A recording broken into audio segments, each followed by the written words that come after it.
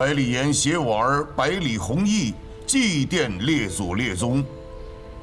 我百里氏起于名士门第，立武士而至鼎盛。今百里岩位列工部尚书，跻身神都名门之列，不负祖荫，光耀门楣。我儿百里弘毅即将婚娶，香火延续。工部建修天堂大殿也将完工，拜求诸位先祖庇佑我儿，庇佑我百里氏。列祖列宗在上，受儿孙一拜。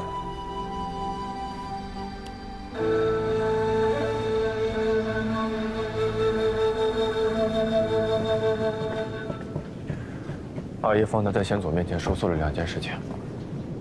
第一，以天堂现在的修建进度，就算到明年年底，也不可能完工。若不是你从工部辞官，这修建的速度岂会如此缓慢？第二，我与柳家的婚事，我从未答应过，都是阿爷你自作主张。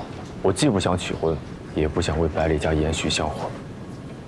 柳家乃是神都一等一的豪族，你跟柳家七娘打小就认识，你为何就是瞧不上她呢？瞧不瞧得上，与这桩婚事又有何关系？你马上就要跟柳家七娘结为夫妻，以后这样古怪的话，千万不要再说了啊！我可以写休书给宣山公，将这桩婚事取消。